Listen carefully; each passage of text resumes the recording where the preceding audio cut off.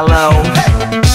Nothing but a G that can't touch this. Headman, Welcome to the G Market. I'm Captain G.